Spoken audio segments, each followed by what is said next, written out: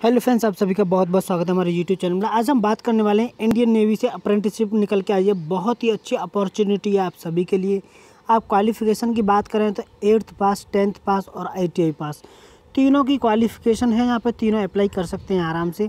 Apprenticeship बहुत ही ज़्यादा navy की बहुत ही महत्वपूर्ण होती है, जैसे कि रेलवे की अप्रेंटिसशिप महत्वपूर्ण होती है रेलवे के लिए।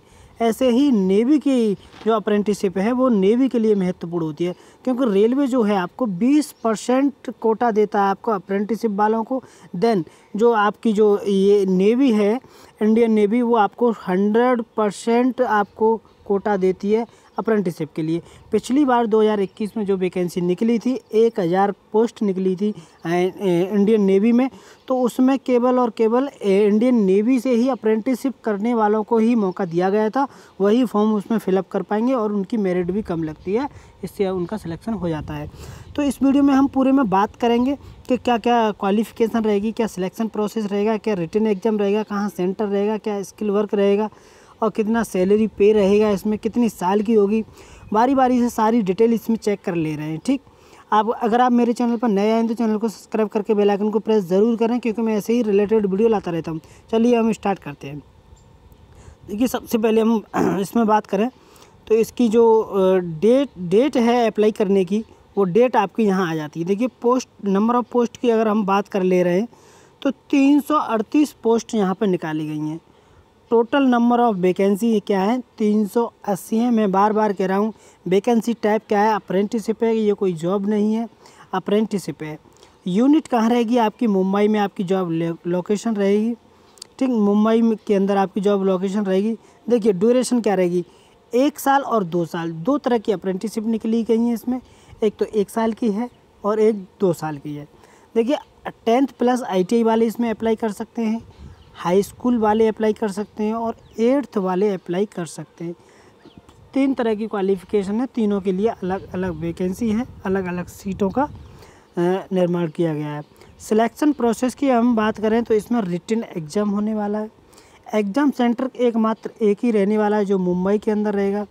एज लिमिट मैं आपको बता दूँ एक अगस्त 2001 से लेकर अक्टूबर 2008 के बीच में अगर आपका जन्म हुआ है आपके डॉक्यूमेंट के हिसाब से तो आप इसको फॉर्म को भर सकते हैं अन्यथा नहीं भर सकते।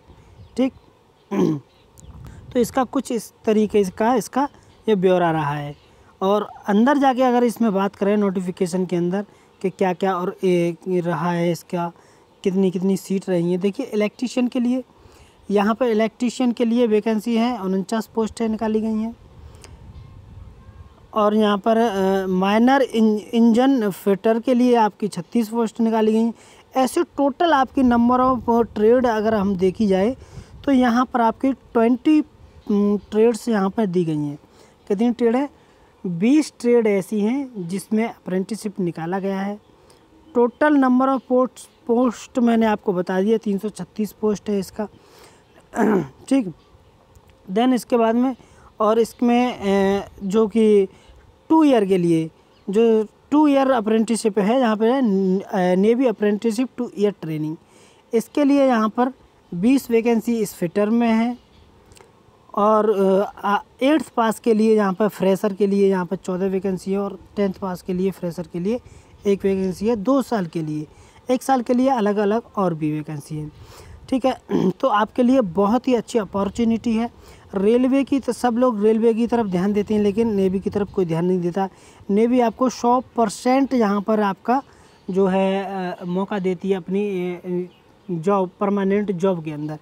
तो आई होप कि इस वीडियो में आपको थोड़ी बहुत नॉलेज ज़रूर मिली होगी। नॉलेज मिली है तो वीडियो को लाइक करें शेयर करें कमेंट करें।